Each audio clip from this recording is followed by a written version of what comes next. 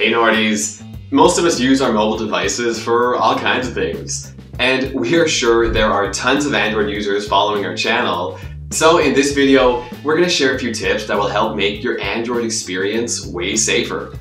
But before we move on, don't forget to click the subscribe button to get our latest content.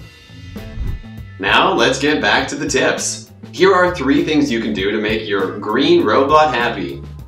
Number one, constantly update your software. Hackers sharpen their tools all the time, so make sure to sharpen yours too.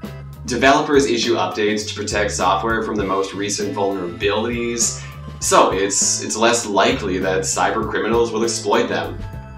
so don't put it off. Install the updates once they come out, and don't give hackers any extra opportunities. Number two, use security software. Security software is your primary defense tool, so it's a must. It'll help detect malware and help you remove it. Just make sure you use a premium tool that offers proper protection. And of course, constantly update it.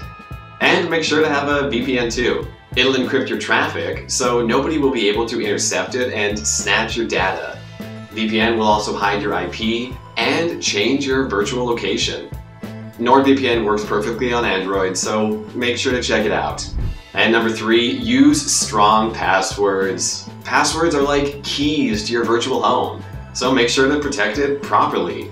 Hackers can easily guess passwords such as password123 or your first name or birth date, so make sure to use long and complex letter and number sequences, which are almost impossible to crack.